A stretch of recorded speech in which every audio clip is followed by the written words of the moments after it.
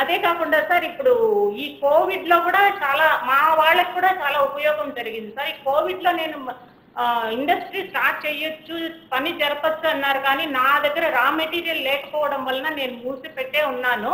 కాకపోతే ఈ దీంట్లో వచ్చి ప్రజలకు నా స్టాఫ్కి చాలా ఉపయోగం జరిగింది సార్. మీరు ఇచ్చిన ఆర్థిక సహాయం అయితేనేమి తర్వాత బియ్యం నాలుగు ఫేసెస్లో ఇచ్చిన బియ్యము దాలు ఇవన్నీ కూడా చాలా ఉపయోగకరంగా జరిగినాయి సార్.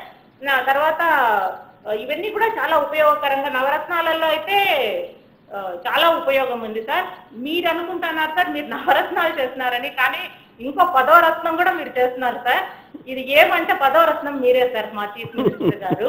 మేలిమి జాతి రత్నం సార్. నిజంగానే సార్ ఇప్పుడు ప్రతి గ్రామంలో ప్రతి కుటుంబంలో కూడా మీ పేరు చెప్పుకుంటా ఉండారు మాకు జగనన్న ఉన్నాడు మాకు సహాయం దొరుకుతుంది మాకు గవర్నమెంట్ ఇల్లు వస్తుంది నాకు అమ్మ పెన్షన్ వస్తుందమ్మా నాకు అని ముసలోళ్ళు చెప్పడము తర్వాత అమ్మా అమ్మ మాకు బియ్యం ఇన్ని ఎక్కువ వస్తాండాయమ్మా. ప్రతి నెల మా ఇంటికే వస్తాండాయి. ఇంతకు ముందు అయితే సరిగా దొరికేటివి కాదు.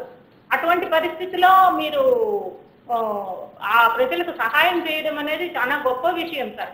ఇది నా వరకు వస్తే కూడా ఈ లోన్ విషయంలో కూడా చూసుకుంటే సార్ నేను ఎంత క్షోభకు గురైనానంటే లా గత ప్రభుత్వంలో పదహైదు రెండు వేల పదహైదు పదహారో సంవత్సరంలో తీసుకున్న వాళ్ళతో నేను కలిసినప్పుడు ఆ సార్ నాకు ఇన్సెంటివ్ ఏమీ రాలేదు సార్ ఇస్తామన్నారు. నాకు ఇంతవరకు ఏమి ఇయ్యలేదు. ఎట్లా సార్ మీరు చేస్తున్నారు కదా మీ ఎక్స్పీరియన్స్ ఏమి అని అంటే ఏమ్మా మేము ఎప్పుడో చేసినాం మాకే దిక్కులేదు. మీకెవరుమా ఇప్పుడు ఇస్తారు? అని చెప్తే నేను ఇంకా డిప్రెస్ అయిపోయినాను సార్. నిజంగా సార్ ఇది ప్రాక్టికల్గా జరిగిన విషయం.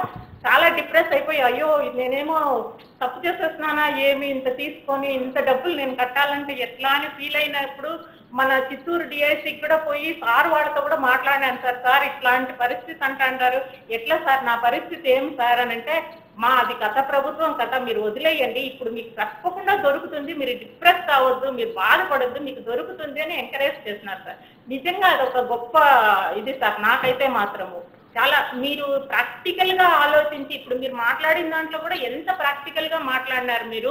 అట్టడుగు ఏదో పూత మాటలు కాకుండా ఆ లాస్ట్లో అట్టడుగులో ఏం ప్రాబ్లం ఉందని ప్రాక్టికల్గా మీరు ఆలోచించి దానికి తగినట్లు సొల్యూషన్ మీరు చేయడం అనేది it is really it is very great thing sir మద్య మద్యపాన నిషేధం అయితే నేను చాలా సార్లు అనుకునేదాన్ని సార్ నాకు చీఫ్ మినిస్టర్ గారితో ఏదో ఒక మాట్లాడే ఛాన్స్ దొరికితే నేను దీని గురించి సార్కు హ్యాట్స్ ఆఫ్ అని చెప్పాలని. ఎందుకంటే ఎన్ని మేము గ్రామాలలో చూస్తాము ఈ మద్యపానం వల్ల ఎన్ని కుటుంబాలు నాశనం అయిపోతా ఉన్నాయని నిజంగా మీ స్ట్రాటజీ వచ్చి సార్. నిజంగా నిజంగా చాలా గ్రేట్ సార్. ఈ స్ట్రాటజీ తీసుకోవాలంటే చాలా గట్స్ ధైర్యం ఉండాలి సార్. మీలాంటి డైనమిక్ సీఎం మాకు దొరకటం we are very fortunate and blessed sir. Really really thank you తల్లి ఆల్ ఆల్ ది బెస్ట్ అమ్మా థ్యాంక్ యూ తల్లి all the thank you best sir